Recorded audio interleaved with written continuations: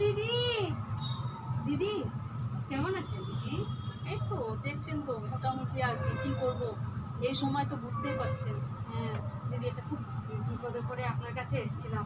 যে মানে ঘরে না ঘরে খুব সমস্যা। জানেন তো ছেলের বাবাটার করোনা হয়েছে ও হসপিটালে ভর্তি। তাই নাকি? হ্যাঁ। ওই শুনিনি তো? শুনিনি না? না। সবাই আজকাল ভয়ে বলতে চায় না। আমিও ভয়ে বলিনি। এখন কি যে করি? ঘরে না খেয়ে আছি দিদি। একটু যদি দুশো টাকা মানে আপনার কাছে থাকতো। ওর বাবা ওর বাবা ঠিক হয়ে আসলে আপনাকে সাথে আপনি তো জানেন আমি তো কিছু করি না। মানে হাজবেন্ডের উপর নির্ভর। আপনার মানে আপনার বন্ধু দিদি হ্যাঁ। সরকারি চাকরি করে না? তা তো করে কিন্তু বুঝতেই তো পারছেন আমাদের আমার হাতে তো বিশেষ কিছু দেয় না। তো আচ্ছা আচ্ছা ঠিক আছে সে না হয় হবে। তা আপনি আসছেন একটু বসেন। একটু না মানে আমার ঘরে করোনা পেশেন্টকে না আমি যেন খুব সাবধান হয়ে এসেছি। দিদি আমি একদম স্যানিটাইজ করে না না ওনাদের লাগিয়ে- করোনা অনেকদিন আগেই হয়ে হ্যাঁ, গেছে বললেন। হ্যাঁ খুব সাবধানে এসেছি।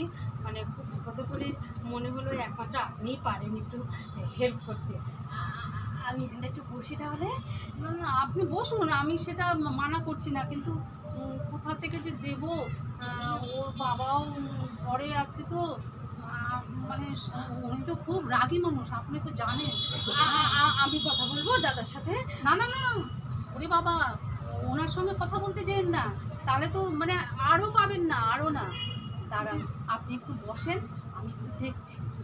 হ্যাঁ আমি একটু মানে দেখি বলছি বিপদে কার কাছে যাব দিদি? আপনারা প্রতিবেশী প্রতিবেশী তো সব থেকে বড় বন্ধু না না এই সময় এটা তো ঠিক কথাই।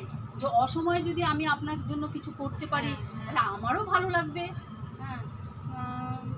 তা আপনি আপনি যদি কালকে আসেন কালকে? মানে আমার ছেলেটা ঘরে না খেয়ে আছে দিদি। খুব খুব অসুবিধায় পড়েই আপনার কাছে এসেছি। বুঝলাম তো। একটু চাল বা ডাল কিছু একটা আচ্ছা আচ্ছা ঠিক আছে। আপনি অপেক্ষা করুন আমি কিছু দেখছি জোগাড় করে। আসলে দেখুন আমি না কাউকে আবার না করতে পারি না। এইটাই হয়ে গেছে আমার প্রবলেম এই জন্যই আপনার কাছে এসেছি আমার এটাই প্রবলেম হচ্ছে হ্যাঁ। বুঝলেন তো? কি করব? একটু দাঁড়ান আপনি ওয়েট করুন আমি দেখছি।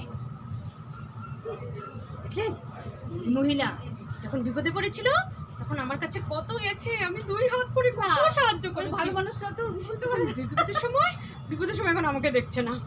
এই হচ্ছে মানুষ। চিনে রাখেন আপনারা হ্যাঁ। এই যে দিদি মানে আমার কাছে একশোটা টাকা ছিল এটা নিন হ্যাঁ। খুব খুশি হলাম দিদি। মনে কিছু করবে না আমি আসলে জানেনই তো হ্যাঁ। আমি তো আর কিছু কিছু করি না ঠিক আছে ঠিক হ্যাঁ, আছে। হ্যাঁ। আপাতত এটা দিয়ে ছবি এটা দিয়ে চালাই আপনার কথা আমি চিরদিন মনে রাখব না না এই সামান্যর জন্য মনে রাখার কি আছে? হ্যাঁ, ঠিক আছে। বাড়াতে হইতো।